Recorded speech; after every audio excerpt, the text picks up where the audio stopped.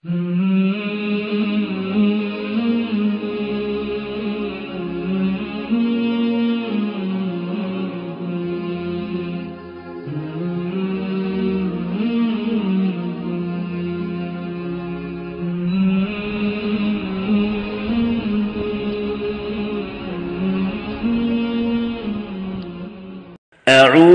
بالله من الشيطان الرجيم.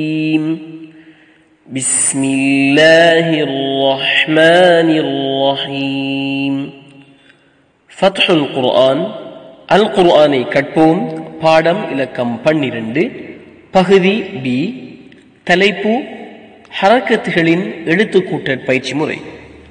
நாங்கள் கடந்த பாடத்திலே ஃபத்ஹா கஸ்ரா மம்மா எனப்படுகிற ஹரக்கத்துகளுடைய கிரகித்திற் பயிற்சி முறையை பார்த்திருந்தோம்.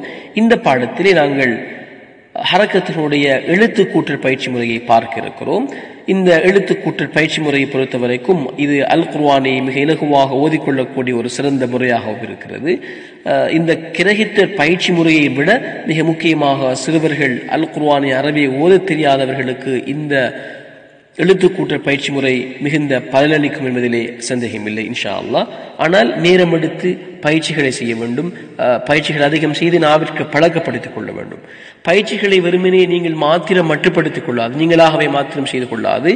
இந்த எழுத்துக்கூட்டல் பயிற்சியிலே விசேட கற்கை நிறையை பூர்த்தி செய்த யாராவது உஸ்தாதிடத்திலே நீங்கள் அதனை முறையாக பயிற்சி அதனை முறையாக பயிற்சி செய்து ஒப்புவிப்பதன் மூலமே மிகுந்த பிரயோசனத்தை அடைய முடியும் இன்ஷா அல்லா குறிப்பிட்ட உஸ்தாதுமார்கள் உங்களுக்கு கிடைக்காத விடத்து உங்களுக்கு கிடைக்காத பட்சத்திலே நிஷா நாங்கள் நாங்கள் நாமவே அதற்குரிய ஏற்பாடுகளை செய்வோம். இன்னைக்கு அதிகரிக்கின்ற பொழுது ஒவ்வொரு உஸ்தாதுகளையும் ஆஹ், உங்களது பயிற்சிகளை நீங்கள் ஒப்புவித்து திருத்திக் கொள்வதற்கான ஏற்பாடுகளை நாங்கள் செய்து தருவோம் இன்ஷா அல்லா பெண்களுக்கு பெண் உஸ்தாதா மூலமாகவும் அதற்குரிய ஏற்பாடுகளை இன்ஷா செய்து தருவோம் சரி நாங்கள் எழுத்துக்கூட்டல் பயிற்சிக்கு நுழைவோம். நாங்கள் கடந்த பாடத்திலே குறிப்பிட்டது போல இந்த ஃபத்ஹா கசா லம்மா எனப்படுகிற இந்த ஹரக்கத்துகளை கேற்ற வகையிலே எங்களுடைய வாயுடைய அசைவு இருக்க வேண்டும். அது மிக முக்கியமாக கவனம் செலுத்தப்பட வேண்டும். அப்பொழுதுதான் அந்த எழுத்தினுடைய பூர்த்தியான அந்த உச்சரிப்பு மொழித்தல் சரியாக அமையும்.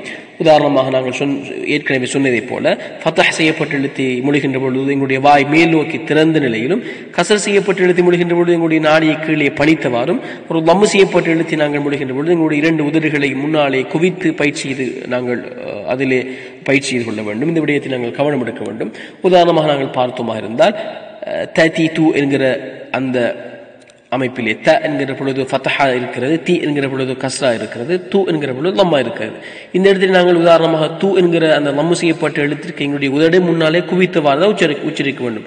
இவ்வாறு முன்னாலே குவித்தவாறு உச்சரிக்கவில்லை என்றிருந்தால் அந்த தூ என்கிற உச்சரிப்பு து து என்று சொல்லி தூக்கும் தீக்கும் இடையில இடைப்பட்ட அந்த உச்சரிப்பை கொடுத்து ஒரு பிழையான உச்சரிப்பாக அமையும். எனவே நாங்கள் சொன்ன முறைப்படியே உச்சரிக்க வேண்டும். அதே போல் சில சில ஓதுவதுண்டு ஐயா கனா புது புது அந்த பாக்கம் வம்மா இருந்தா பூ தாருக்கும் பம்மா இருந்தா து புது புது தான் வரணும். அநேகமானவங்க நான் புது புது அப்படின்னு ஓதுறது அந்த லம்பு செய்யப்பட்ட எழுத்துக்கு உத- இரண்டு உதடுகளை முன்னாலே குவி வைக்காமல் உச்சரிப்பதனுடைய அது விளைவுதான் அது என்பதை நீங்கள் அஹ், கவனத்தில் கொள்ள முடியும்.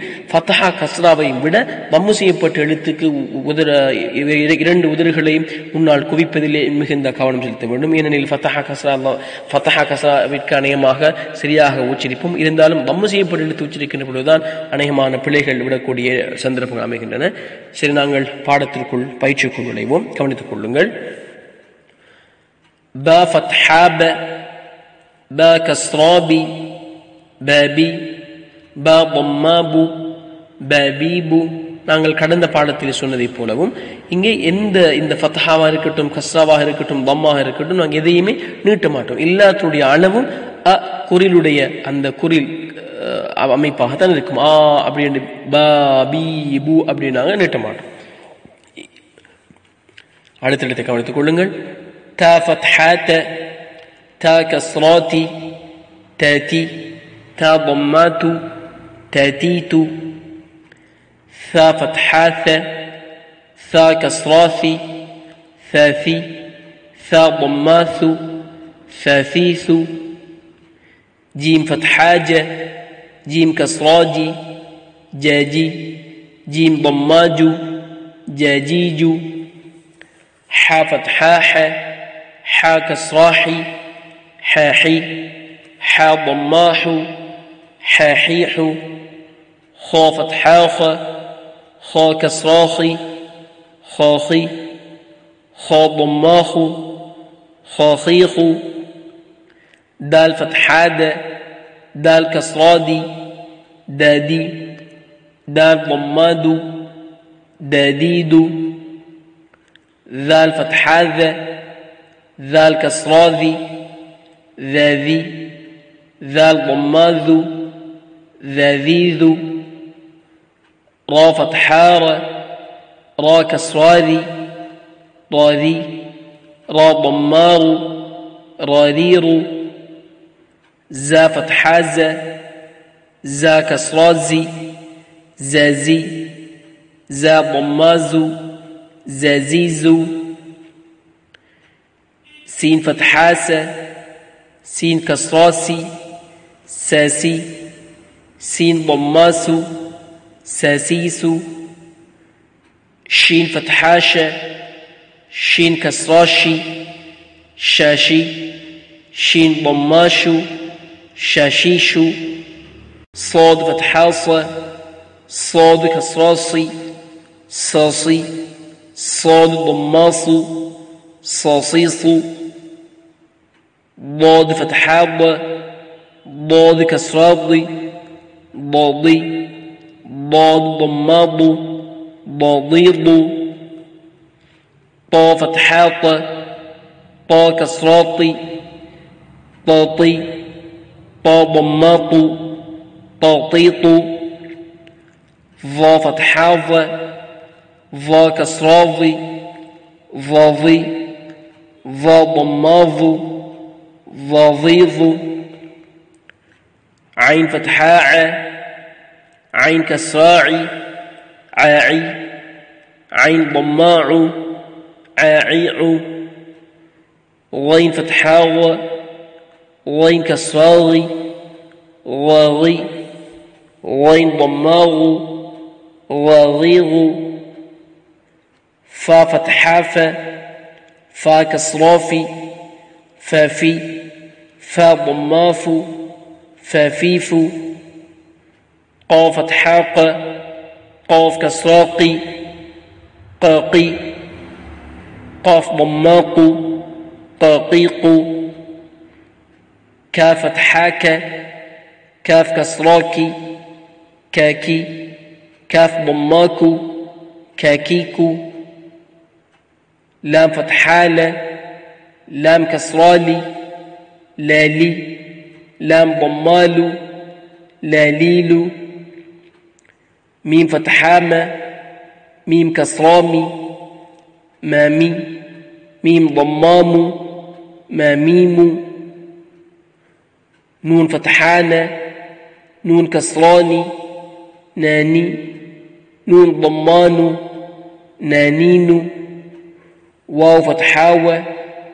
வாவ் என்கிற எழுத்தை பொறுத்த வரைக்கும் நாங்கள் கடந்த பாடத்தில் சொன்னதை போல அதற்கு ஃபத்தஹா அல்லது கஸ்ஸா அல்லது தம்மா எது வந்தாலும் ஆரம்பமாக நாங்கள் உதட்டை முன்னாலே குவி வைத்து தான் சொல்லுவோம் வாவ் ஃபத்ஹாவ வாவ் கஸ்ராவி வவி வாவ் தம்மாவு வவீவு ஹா ஃபத்ஹாஹ ஹா கஸ்ராஹி ஹஹி ஹா ضماه هاهيه همزة فتحاء همزة كسراء آئي همزة ضماء آئيء يا فتحاية பல்ல யா சொல்லுகின்ற பொழுது பல்ல இழுத்து சொல்லுவோம் யா ஃபத்ஹாய ஹம்சா வந்தா ஹம்சா ஃபத்தா அ யா வந்தா எ அ எ அ எ இரண்டுக்கு மத்தியில் வித்தியாசம் இருக்கிறது யா ஃபத்ஹாய யா கஸ்ராயி